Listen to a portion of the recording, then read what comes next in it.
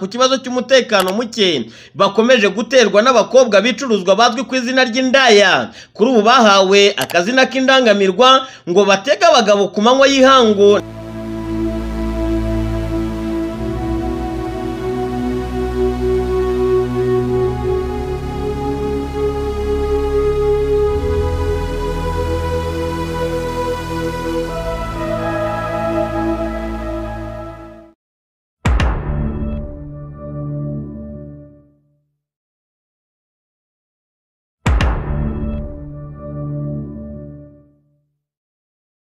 Aba ni bamwe mu baturage batuye muri uyu mudugudu wa Giporoso ya kabiri mu kagari ka Kabeza mu murenge wa Kanombe mu karere ka Kicukiro mu mujyi wa Kigali. Barimo kurira yo kwarika ndetse banatabaza inzego zitandukanye ngo zibe zabasha kubatabara ku kibazo cy'umutekano muke. Bakomeje guterwa n'abakobwa bicuruzwa bazwi ku izina ry'indaya. Kuri ubu bahawe akazina k'indangamirwa ngo batege abagabo ku manywa y'ihangu ndetse n'ijoro ryose. Barembuza abasore.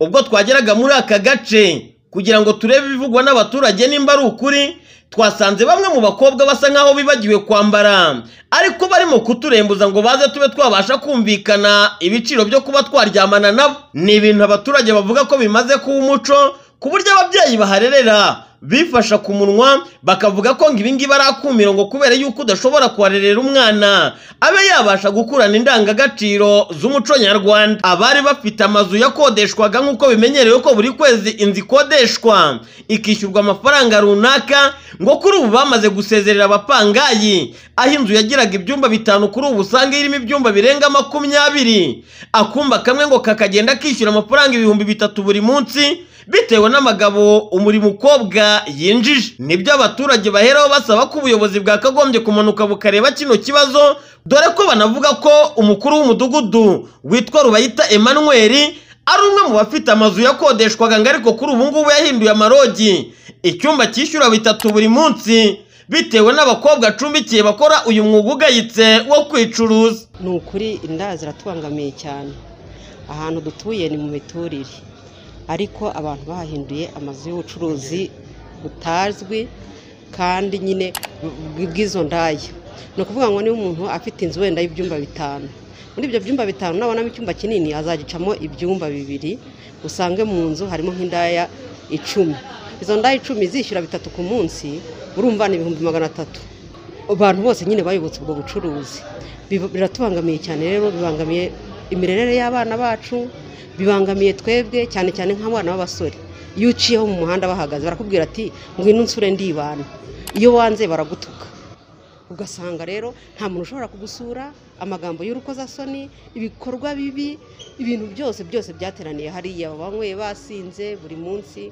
Ntabwo nta burere buhari mbese muri make turabangamiwe noneho nimugoroba rero. Niba nk'indaya yabonye umugabo. Yagize ibyago akabura amafaranga. Baramwadukira bakamukubita. Bakamwambura n'imyenda ibintu bikomeye. Noneho ikindi kindi kiriho. Hari igihe umuntu ashaka gucika iyo ndaya bakarara barwana mpaka. Kwiba rero noneho. Ni iyindi ntera ikomeye. Ntabwo ashobora kukubona mu mafaranga ngo yamucikane. Uko waba umeze kose ntushobora kuyamucikana. Ni izo nduru za nijoro tukarara tudasinzira dutashye tunaniwe bakarara baboroga baboroga bagera mu gitondo bakiryamira twe tukongera tukajya guhangayika mu kazi. Noneho ikindi gikomeye rero ni uko bajya baterana n'ibyuma. Bagatera bakarwana ntibatinya guterana ibyuma. Urumva? Ikindi gikomeye ntabwo dushobora nta muntu ushobora gukontorora umutekano wa bariya bantu. Kuko ntabwo tumenya abantu binjiyemo ko ntibagera aho babandika nta nubwo tumenya abantu mbese kuvuga ngo ni nko kwinjira no gusohoka n'umuntu yaza akahamara ukwezi ntabwo ntabwo wabimenya niba ari umwanzi winjiye ntabwo ushobora kubimenya. Ubuyobozi burabizi rwose ikibazo birakizi cyane cyane kuko kimaze igihe gusa usibye ko muri kino gihe cyafashe indi ntera. Ariko barabizi cyane cyane ishusho mbi cyane. Kuko bajya bavuga ko ahantu umuntu akuriye umuntu afata imico yaho ubona rero ari ikibazo gikomeye nk'uko dufite abana b'abangavu babona hari abandi bakobwa bashobora kubona ibyo bintu bicaye aho ngaho bameze neza bambaye iyo myenda myiza umubonye umwenda yambaye neza yagize gute? Ntumenya ko ibintu ari gukora ari bibi. Abana rero babyiruka bageze no mu marera mabi ntabwo bashobora ntabwo bashobora gushobora kwihangana. Ashobora kugenda imyaka ikamushuka nawe akaba agiye muri ibyo bintu. Ntabwo byoroshye pe ntabwo byoroshye kuharerera. Ikindi rega nta n'umuntu wagusura ni ukuri nta muntu wagusura. Kuko nk'ubu twebwe iyo twicaye nk'iyo twicaye ayo magambo baba bari kuvuga nawe uhaciye. Ariko nawe uri buze kubibona nuhaca ugahagarara baragutereta. Eh, mm.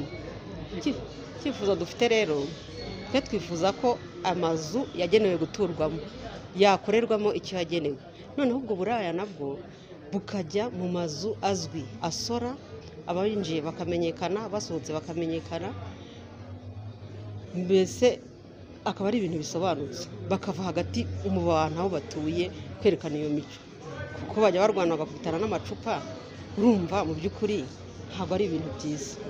Mm. none se urareba ngira ngo hari n'iyo umuntu yaba atabivuze abantu bariya abantu ni abantu babi. Nta mutima wa kimuntu bagira. Ni ukuvuga ngo ntiyatinya kugukubita icupa. Ntiyatinya kugutera icyo cyuma. Ntiyatinya kugusebya uri kumwe n'abantu. Urumva? Icyo rero kandi na ba nyiri kubicuruza nabo ni abantu batumva byibuze twebwe ababyeyi. Ntabwo bari kumva akababaro dufite. Bo bareba ku nyungu zabo ntibarebe ku kababaro twebwe dufite turerera hariya. Eh, ni cyo kibazo rero gituma tuvuga tuti bigende gutyo ba nyir'amazu kuko niba umuntu asa avuye mu nzu aka- akayi- akayikodesha umuntu akamubeshya ngo ngo agiye kuyituramo. Ariko nyuma akumva ngo yashyizemo ibyo bintu. Noneho nyiri- nyir'inzu se akwirukanye. Urumva ubwo bucuruzi waba ukibukoze. Mhm. ariko baravuga ngo ntabwo twari tubizi urumva. Noneho ikindi aba bantu babakodesha ku munsi ariko babaha amasezerano y'ukwezi. Noneho rero bavuga ngo niba abantu basezerana baf- bafite amasezerano y'ukwezi mu nzu wajya kubareba ugasanga bafite amasezerano y'ukwezi kandi bishyura ku munsi baba barabigambanye na ba- na- n'abo bantu baba bakoresha kavuga ati twebwe ntabwo twashobora kwishyura ku kwezi ariko ku munsi tuzajya twishyura ubuyobozi nibuza butazasanga udafite amasezerano. Bakakwandikira amasezerano yo ku kwezi kandi wishyura ku munsi. Icyo dusaba ubuyobozi rwose nta kindi. Nibatwimurire bariya abantu babavane hariya bajye aho ibyo bikorwa byagenewe gukorerwa niba hahari batureke n'ukuri duture dutunge dutunganirwe. Kuko buri munyarwanda wese agomba kugira amahoro ahari. Nubwo batwishyiramo ngo turashaka ngo kubirukana ntabwo hariya ariho hantu honyine rwose nibatubabarire. Ba- bavemo niba baza aho muri korodoro aho ibikorwa by'ubucuruzi biri aho bazajya bacururiza ntabwo rwose bitureba. Mm, icyo dushaka ni uko bava mu ngo mu miturire yacu bakaza aha ngaha. Icyifuzo gitumye mbisaba ah, ni abantu unyuraho ya- yabonye ko wamutangiye amakuru yakubonye aragutuka. Ati "Wan- wantangiye amakuru urashaka kutwirukanisha? Bakakubwira amagambo yose bishakiye. Nk'uko mugenzi wanjye yabivuze ikintu cyo kuvuga ngo bagira umutimanama. Ntawe bagira. Kuko kuvuga ngo ngewe niba nabatangiye amakuru nimba nyuraho. Bara- barantuka ntibatinya kumbwira amagambo ma- mabi. Basanze ndi kumwe n'abandi bantu ntabwo babitinya kubimbwira. Ushobora no kunyuraho yanasinze akaba yanagukubita n'ivide cyangwa akakumenaho inzoga.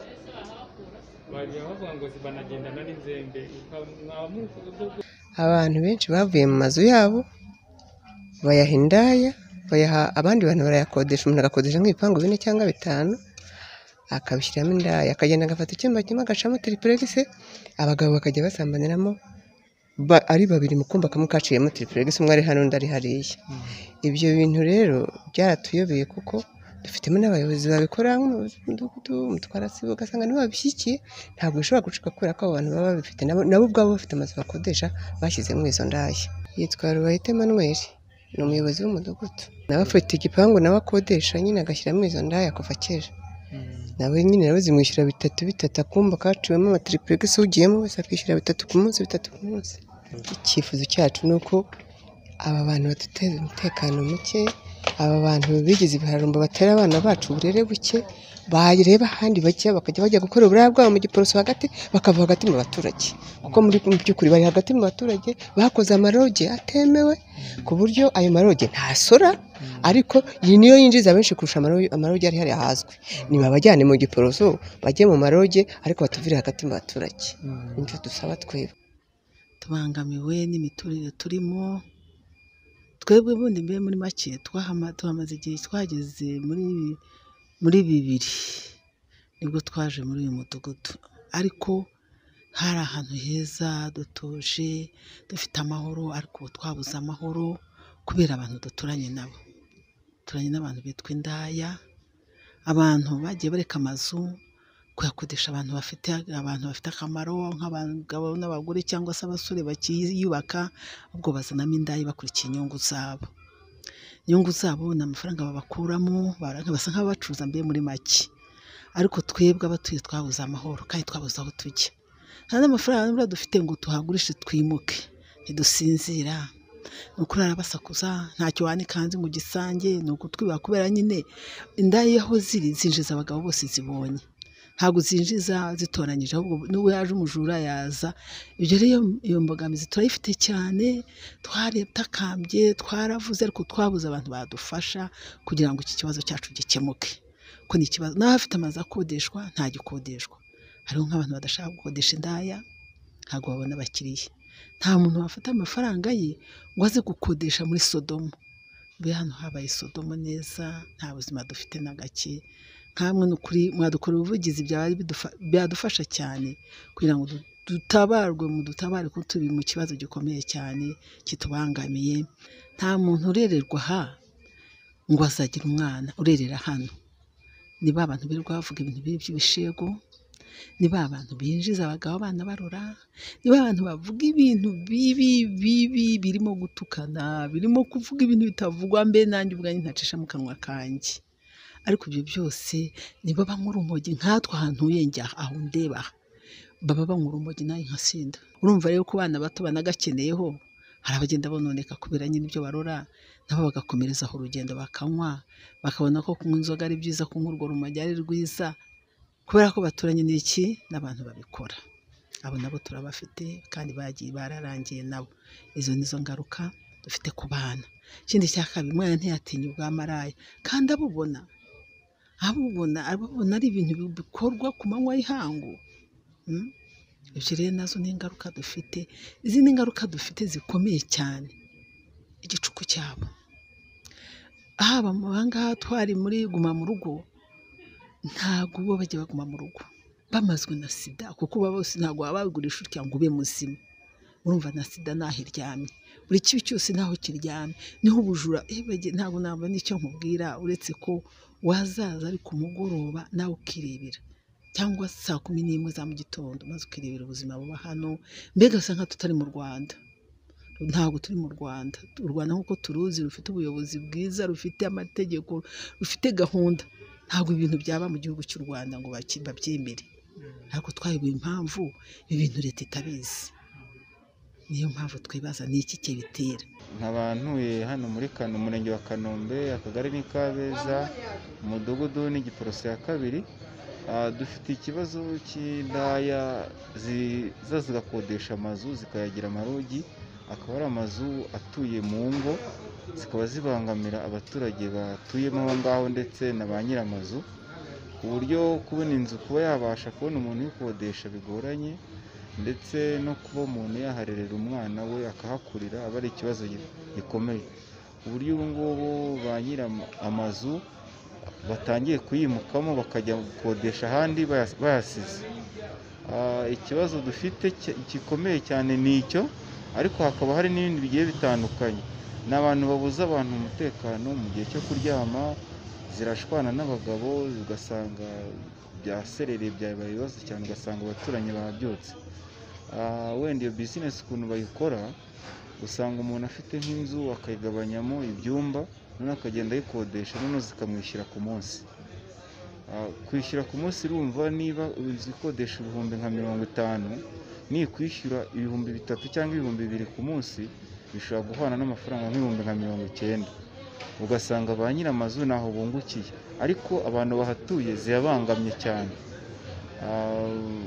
noneho ugasanga nijoro ku muhanda usanga ziteze ku buryo nk'umuntu iyo yitahira usanga ziri kumubwira nabi cyane Ah, nk'iyo azivugishije se kuki muri aha ngaha?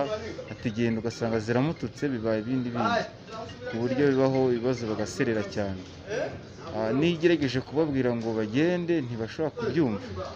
Iyo habayeho inama zo kubirukana ntabwo bipfa koroha kuko ushobora gusanga wenda zifite wenda icyo zishingikirijeho umuntu atabasha kumenya. Ariko iyo uganiriye bamwe na bamwe bakubwira yuko batagenda ugasanga hashobora kuba hari abantu bo mu buyobozi runaka wenda bw'umudugudu cyangwa se n'ubundi kuko nibo babyivugira ko ntabwo bakubwira ngo nyirizina ni uyu n'uyu ariko barabivuga ukabyumva nk'umuntu wumva ko hari ubuntu ushobora kuba wenda yanabashyigikira. Bituma batagenda. Eh, ndumva.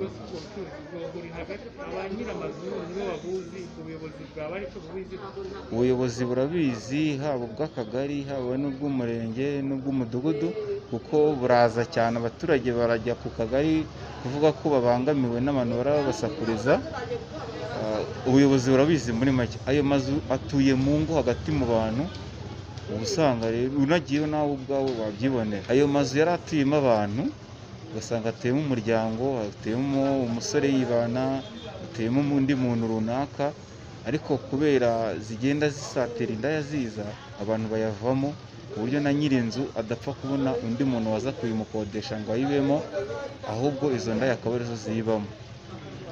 Agahita ayifata ubwo nawe akabona niyo bizinesi iri kuza kugira ngo inzu ye baramusoresha aho kugira ngo asore idakora nawe agahita ashyiramo iyo bizinesi akayigabanyamo utwumba kugira ngo abone abayinjiramo ari benshi yinjiza amafaranga menshi kuruta n'ayo yinjizaga.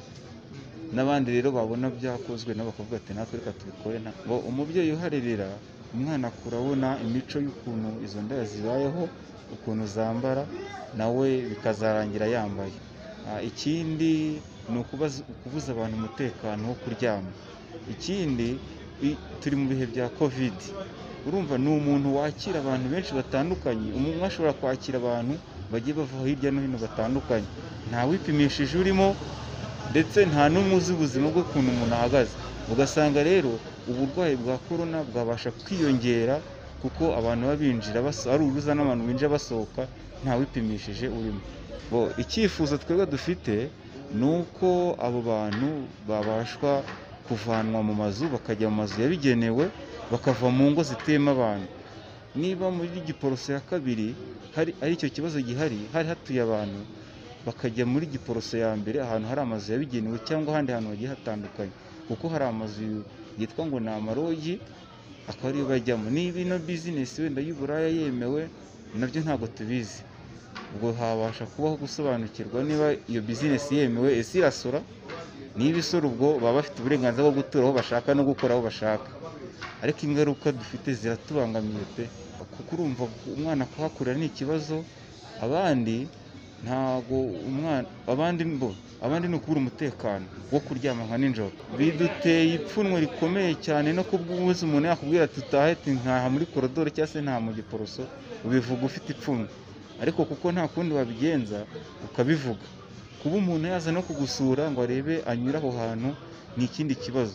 Hari n'igihe ushobora kubwira ati ukamujyana nk'ahandi hantu mukajya kwicara mugasangira mukanaganira ariko kumuzana mu rugo iwanyu ni ikibazo. Mu gushaka kumenya imiterere y'iki kibazo tuganira n'izi ndaya na zo zatwemereye ko ibiciro rwose ngo biteye muri ubu buryo. Abaturage basaba ko iki kibazo kitaramutse gihagurukiwe. Twaba tumaze kumera nk'isodoma n'igomora ngo bitaba ibyo umuco nyarwanda ukazimira burundu. Nta muntu wafata amafaranga ye ngo aze gukodesha muri sodomo mbe hano habaye sodomo neza nta buzima dufite na gake. Turacyagerageza kuvugana n'inzego zirebwa n'iki kibazo yaba ubuyobozi bw'umurenge akarere ka kicukiro ndetse n'abafite umuco mu nshingano. Ku cyo bagiye gukora ku bijyanye n'uburaya bukomeje kugenda bukaza umurindi. Mu mujyi wa kigali no mu nkengero zaho ubwo bazagira icyo badutangariza tukaba tuzabibagezaho mu makuru yacu ataha ni inkuru ya kamanzi semigabo janvier mu ijwi rya ndahiro valence papi ku bwa btn tv